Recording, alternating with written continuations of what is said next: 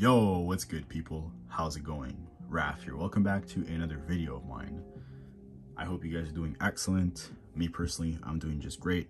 I went out in the city today and explored a little bit, and while I was there, I copped a brand new pair of shoes, which is actually the ones that you see right in front of your very eyes. As a matter of fact, it's the Air Jordan 2 Low in the brand new UNC colorway. Or actually, not even brand new should I say. Fun fact, this is a PE exclusive that Michael Jordan wore back all the way in 1987, but we'll get into that in just a tiny little while. Now these came out around a month ago, I'd like to say, either first or second week of July, if I'm not mistaken, at least in the US. And the reason I say this is because the store that I personally got them at only got them about a week ago in men's sizing. I don't really know what happened there. Either they had a different release date here in Canada for whatever reason, or we had delayed shipments.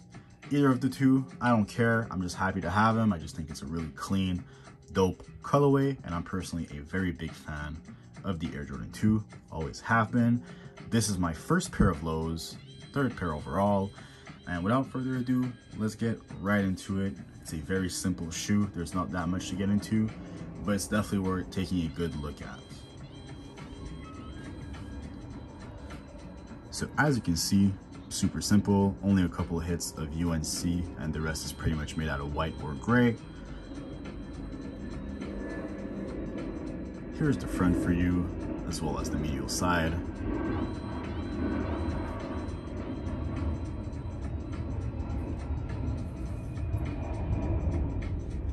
Now, as you can see, this shoe is pretty much comprised basically out of entirely leather.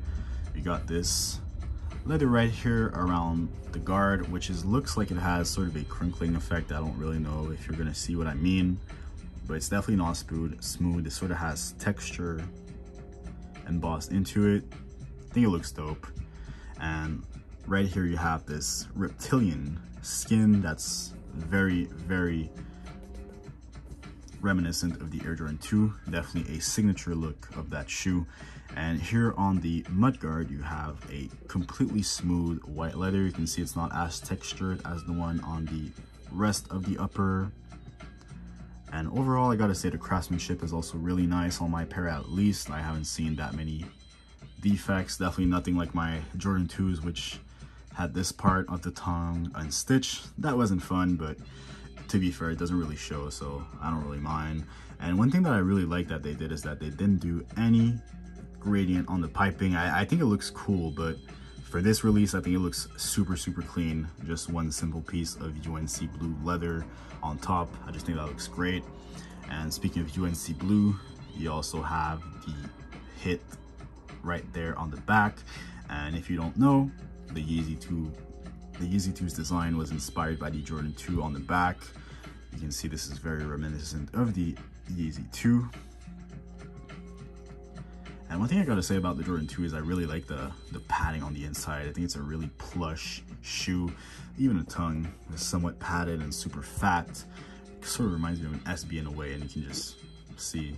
And even though they're super padded, I always go half a size down in my Jordan 2s. I am usually a size 10.5 and these are a 10, just like my high tops.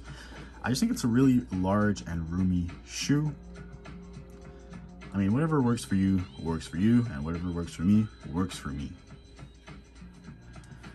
Of course, on the outsole, you have hits of UNC, and you have your size label right here on the bottom. I always thought that was pretty cool. I don't know if there was a specific reason why they do it. I really couldn't guess. Maybe, if I did have to though, if I did have to guess, it's very a it's much of it's much more of a dress shoe thing i feel like. And if you don't know the air jordan 2 back in 1986 when it came out was sort of modeled after a luxury shoe. They wanted to have a more premium feel to the jordan line and maybe maybe that's why they started doing that. I don't know i think it's really cool nonetheless and that piece is pu as well it's polyurethane so you have a little bit more of step and comfort which is always cool. It's not part of the midsole, it's an entirely different piece. Now, into the story of the shoe. Now, like I said, this is a player exclusive that Michael Jordan wore in 1987. And he wore that shoe because in his NBA contract or Nike contract, either of the two, I'm losing touch right here, but you get what I mean. It was either of the two, but in his contract basically stated that there was a love of the game clause, which basically means that he would be allowed to play basketball whenever and wherever. And basically what that means is that he wouldn't get penalized because uh, companies back then would not allow basketball players to earn money from other tournaments, uh, such as, for example, alumni games, pickup alumni games, or street tournaments. But Michael Jordan had complete freedom, and in 1986, he entered his, his first alumni game. He actually debuted the Air Jordan 2 there. It was the Jordan 2 High, and he actually painted the, the back in UNC. And if you remember around 2016 or 2017, I'd like to say, a pack of Jordan 2s and a pair of Converse came out. And it was basically to highlight that game. They had the date on the back and they had the UNC hit as well. It's basically the, the Jordan 2 Chicago, but with a UNC hit on the bottom and on the back. I thought it was a pretty cool concept. Not for me though. I don't like random hits of colors on shoes. I like everything to make a lot of sense, if that makes any sense to you. Um, I just like everything to be somewhat coordinated. But this shoe, for example, is very coordinated, is super clean, which is definitely something I can get into. And like I said, the Jordan 1, the Jordan 2 highs he wore as the first game and the second game in 1987 he actually wore this exact shoe. Now, whether he custom made them for himself, I don't know, or that Nike made them for him, it's not very well known. There is footage of that game, but it's very grainy. It's not very clear. You can tell that he has Jordan 2s on feet, but very, very faintly. It doesn't really show. Of course, cameras from the 80s were not the best, as we all know, especially not uh, sports broadcasting televisions, definitely not. Um, but yeah, so technically, I guess you could say this is an OG colorway, but not really. These never really came out to the public in 1987. But at least now we get to enjoy them and I think that they look super, super dope. I'm really happy to have them. As you can see, I took the liberty to lace them up. This is how I would lace up my Jordan 2s personally.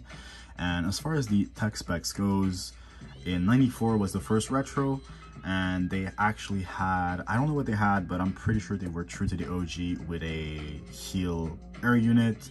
And in 2004 when they started really retroing the jordan 2s from 2004 to like i think the off-whites the low top off-whites the chicago's is when they first started started implementing the og colorway back which is as i said the heel unit only but what I was getting to is from 2004 to that shoe, the Chicago Off-Whites, they were using a full-length air unit.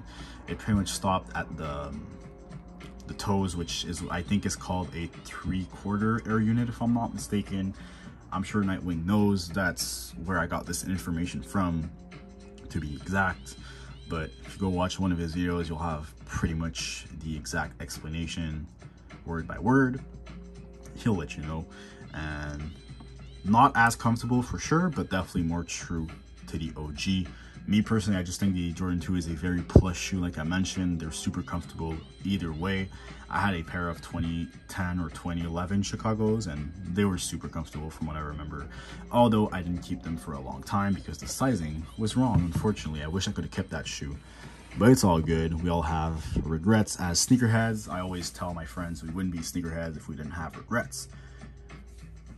And on that note, I think I'm gonna leave you guys to it. Thank you very much for watching. Thank you very much for clicking on the video. You didn't have to, and yet you did it. Here you are. Thank you very much. If you're a new viewer, please consider subscribing. I make videos on sneakers and vintage clothing mostly. So if these are things that interest you, please consider subscribing. And that's it for me, guys. Have a good night. Have a good rest of your night, and I'll see you guys again very soon. Thank you. Take care, guys.